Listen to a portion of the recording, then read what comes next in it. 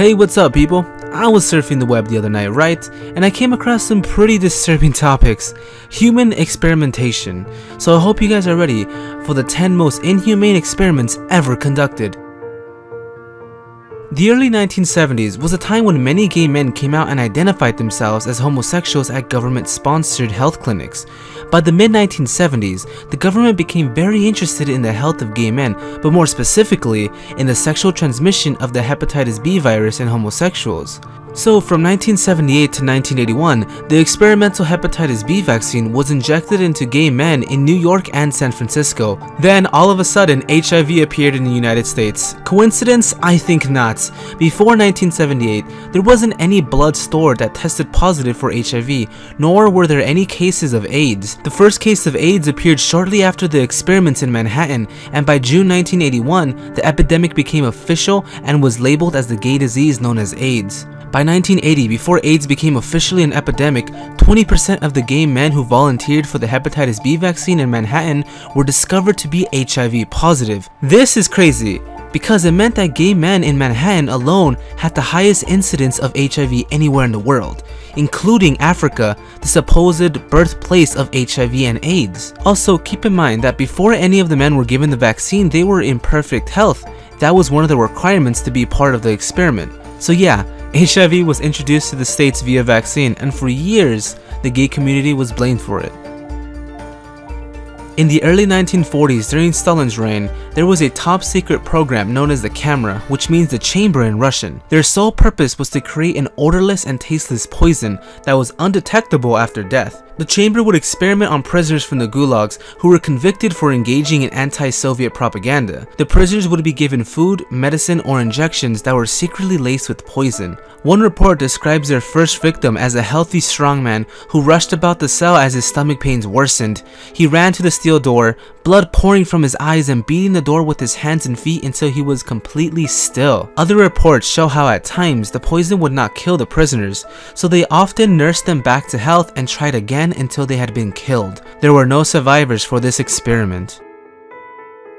The Tuskegee syphilis experiment was a US government funded program which lasted for 40 years, from 1932 to 1972.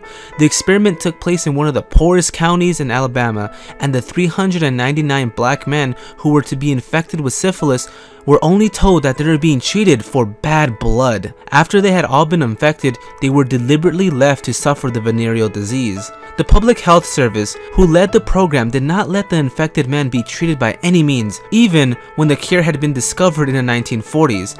They were deliberately denied the medication, and when 250 of the infected men registered for the draft for World War II, they were told to get treated for their syphilis. But then, the Public Health Service exempted them from being drafted. By the end of the experiment, 28 men had died directly of syphilis, 100 died from related complications, 40 of their wives have been infected, and 19 of their children were born with congenital syphilis. The study was meant to discover how syphilis affected blacks as opposed to whites, but this knowledge would not have changed the clinical treatment of syphilis in any way, so in the end, they were just torturing these people.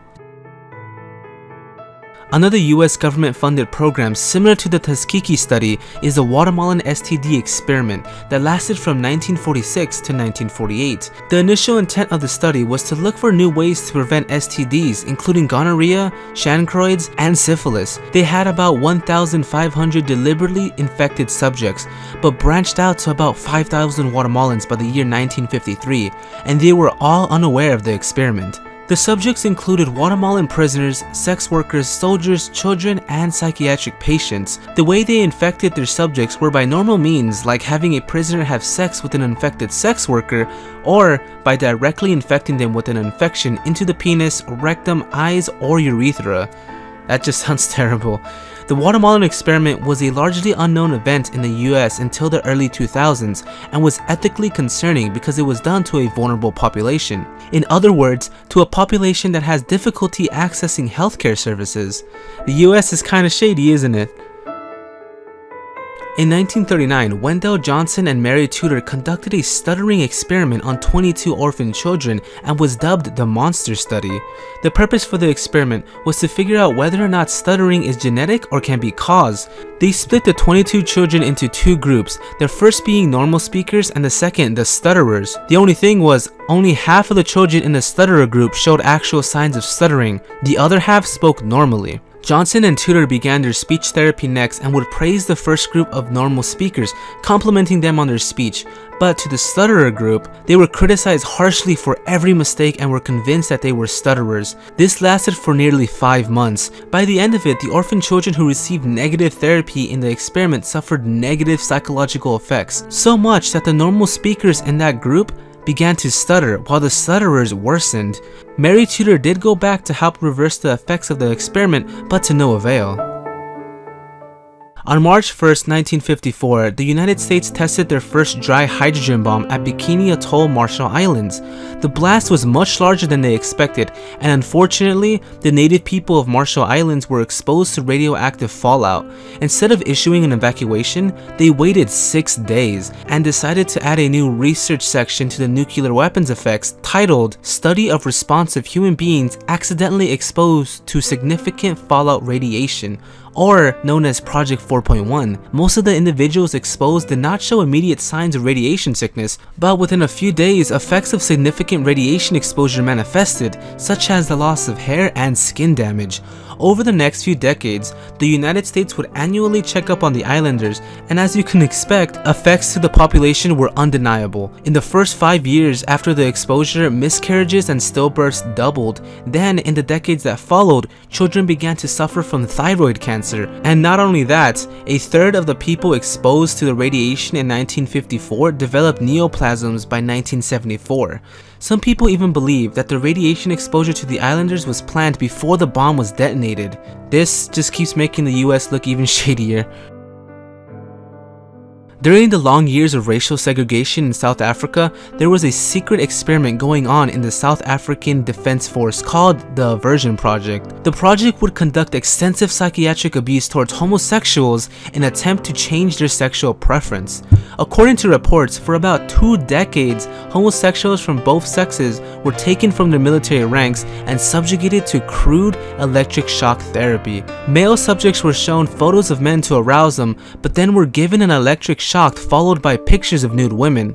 When the shock therapy failed to change their sexual preference, they were forced to undergo a sex change operation. Reports show that possibly 900 sex change operations were carried out under the guidance of the South African Defense Force. Once the operation was completed, the subjects were discharged from the military service, their birth certificates were changed, and they were given new identity papers. Some were even discharged before the sex change was fully completed, leaving them in a state of limbo. The purpose of the Stanford prison experiment was to study the psychological effects of becoming a prisoner or prison guard. They gathered 24 male college students and had them flip a coin to determine which role they would take. Immediately from the start of the experiment, the prisoners were made to feel humiliated and emasculated, having them searched, stripped naked, made to wear a dress with no underpants on, and wore a chain on their foot to remind them that they are oppressed. The guards were given no specific training on how to be guards. Instead, they were free to do whatever they thought was necessary to maintain law, and within a few days, everyone was fully immersed into their role. One prisoner left in less than 36 hours after suffering acute emotional disturbance and became very aggressive, while many other prisoners experienced mental breakdowns. After only 6 days, the experiment was called off because the guards were progressively treating the fake prisoners worse and worse. At night, when they thought no one was watching, their boredom drove them to do even more pornographic and degrading abuse towards the prisoners. In the end, the prisoners felt like they were dehumanized and most of the guards became very sadistic. Despite how terrible this experiment was, it actually proves the fact of how power can change people. During World War II, German doctors conducted a number of deadly experiments on the concentration camp workers.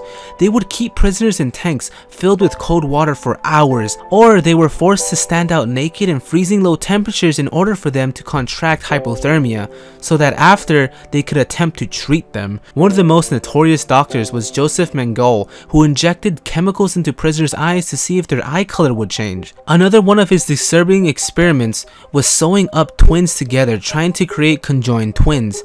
He experimented on more than a thousand twins, but only 200 survived. Seven-year-old Jacqueline along with these two boys were victims of tuberculosis medical experiments. They were murdered shortly before liberation.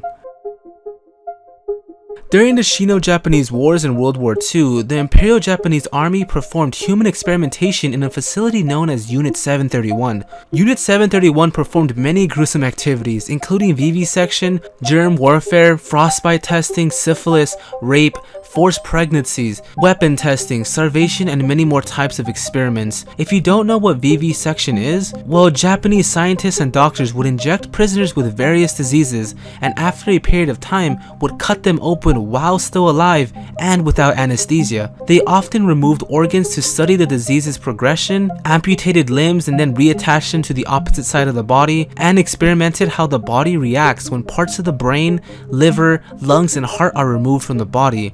Female prisoners were often raped and forcibly impregnated for experiments such as transmission of disease from mother to child, fetal survival outside the womb, and how much genitalia damage the women could survive. The worst part of all of this is that nearly everyone in Unit 731 got away scot-free. The United States granted them immunity in exchange for all of their research.